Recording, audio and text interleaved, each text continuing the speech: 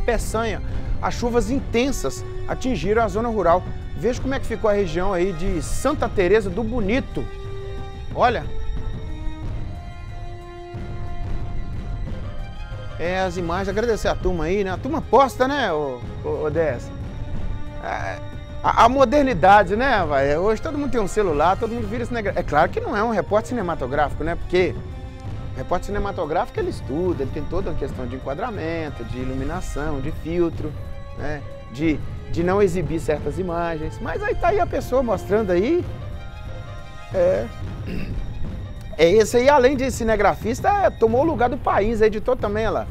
Colocou até GC, tomou o lugar do Panterinha, que ontem acreditou a Polícia Federal aqui. Nada a ver, né? Aí o rapaz tá melhor que ele lá, aí Panterinha. Toma seu lugar aqui, ó. A gente tá falando da inundação, a gente tenta encontrar uma outra forma de exibir a tragédia para não chocar tanto, né? É muito triste ver isso aí, gente.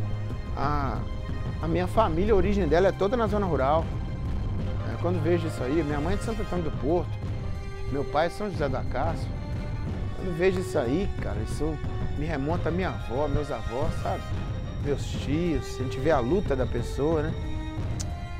Muita água, né? Muita água. Isso é na zona rural de Peçanha.